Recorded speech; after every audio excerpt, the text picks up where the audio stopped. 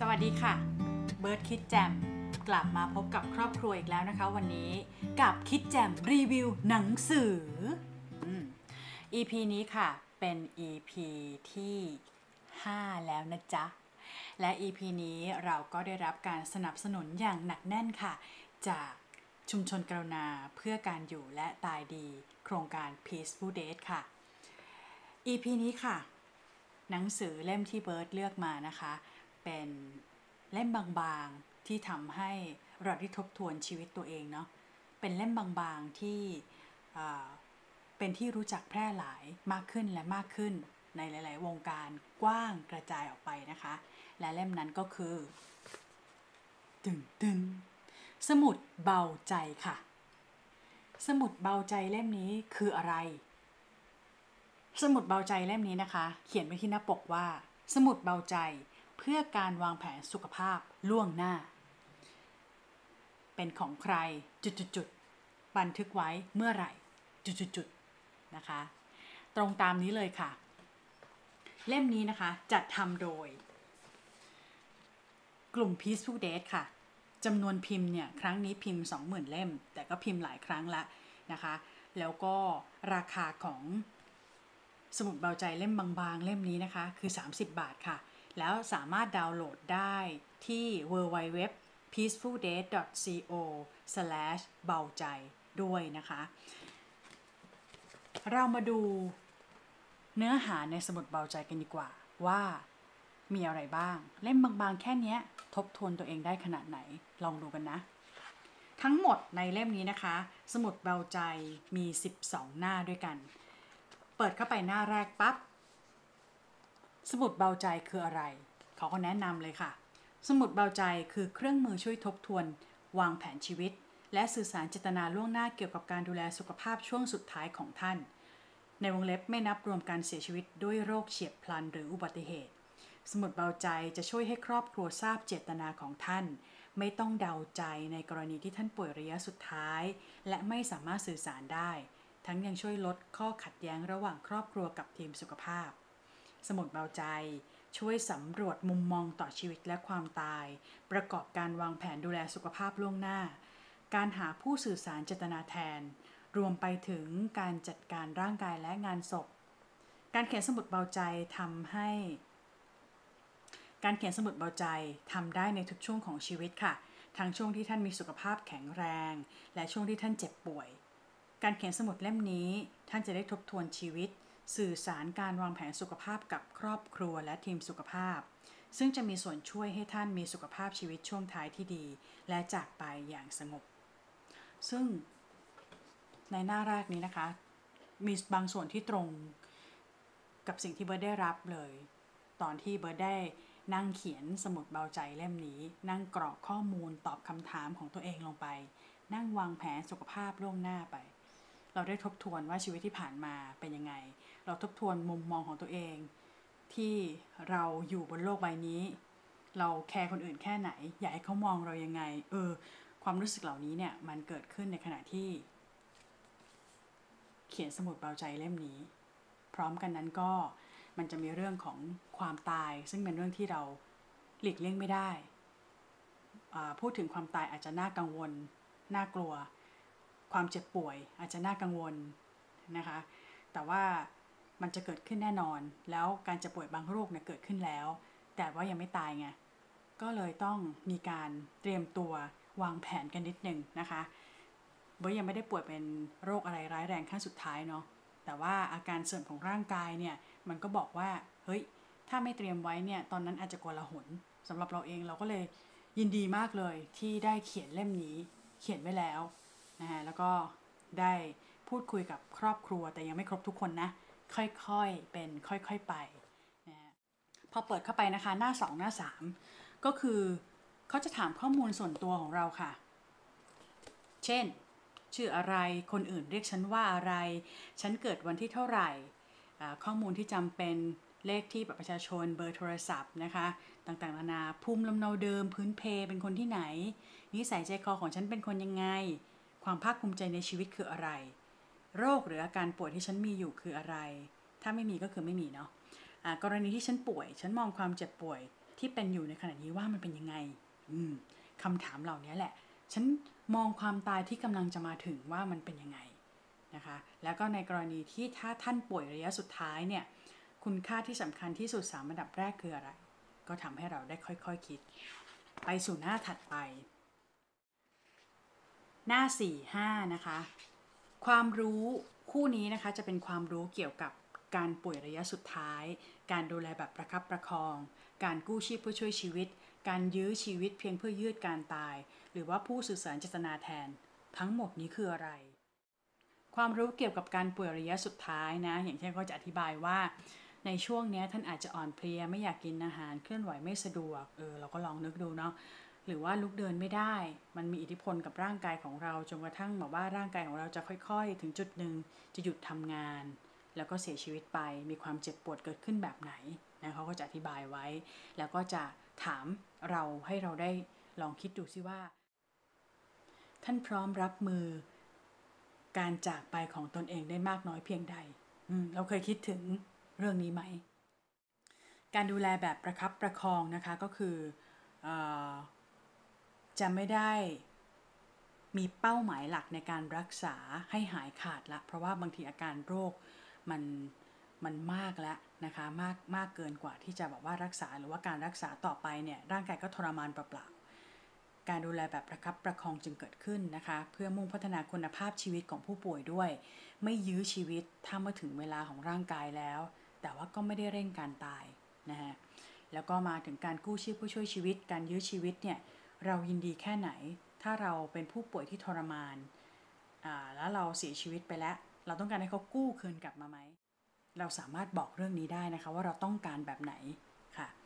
แล้วก็เรื่องของผู้สื่อสารเจตนาแทนนะคะ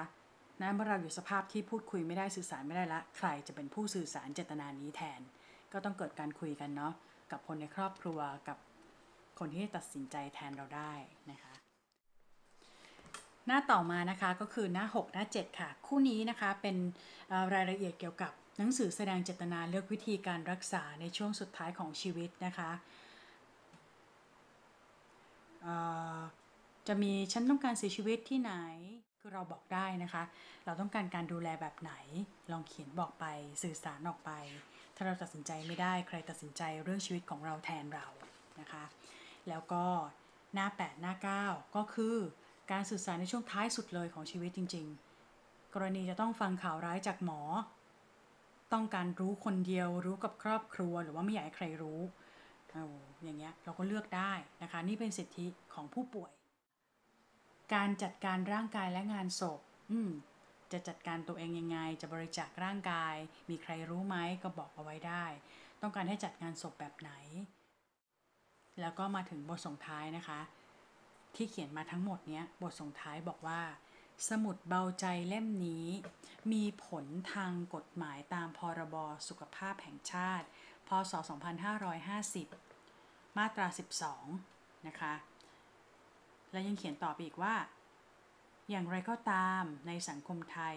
สิ่งที่ช่วยให้เจตนาของท่านเป็นจริงได้มาก คือการที่ท่านสื่อสารข้อมูลในสมุดเบาใจนี้กับครอบครัวคนใกล้ชิด จนพวกเขาเข้าใจเจตนาของท่านอย่างชัดเจนและสอดคล้องกัน ข้อมูลในสมุดเบาใจท่านสามารถปรับเปลี่ยนได้ทุกเมื่อค่ะ หากมีการเปลี่ยนแปลงทั้งเรื่องการตัดสินใจ แล้วก็เรื่องของสุขภาพเราด้วยนะคะ ก็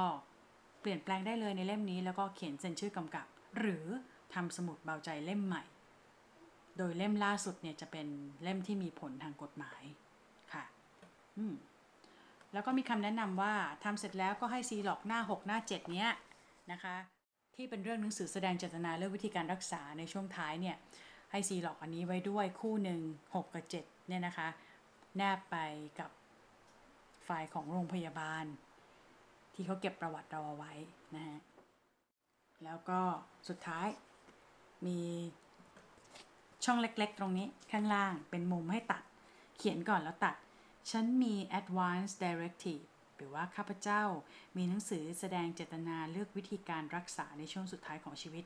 โดยผู้สื่อสารเจตนาแทนคือใครนะฮะจบแล้ว นี่คือสมุดเบาใจ มีคำพระท่านพูดว่า พรุ่งนี้กับชาติหน้า ไม่รู้ว่าวันไหนจะมาถึงก่อนกัน เราคิดตามนะ แล้วก็เราก็รู้สึกว่ามันไม่ใช่คำคมคำสอนอะไร แต่อย่างเดียวมันเป็นเรื่องจริงเนาะเราไม่รู้จริงไม่แน่นะคะก็เป็นเรื่องที่สมุดเบาใจเนี่ย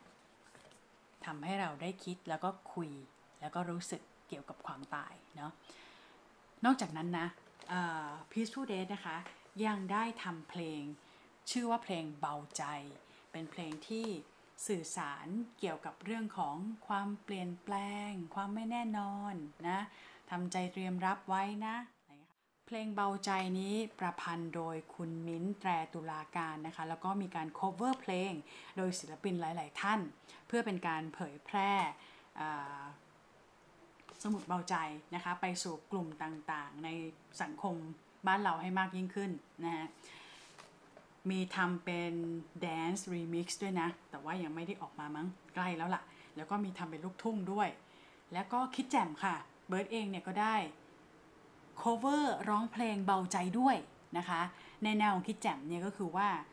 เราร้องเพลงในฐานะของนักเล่าเรื่องอะนะคะก็ต้องลองฟังดู ซึ่งวันนี้เราเตรียมมาให้กับทุกๆ คนฟังด้วยนะคะ ร่ำลาไปด้วยเพลงเบาใจจากคิดแจ่มจ้า บ๊า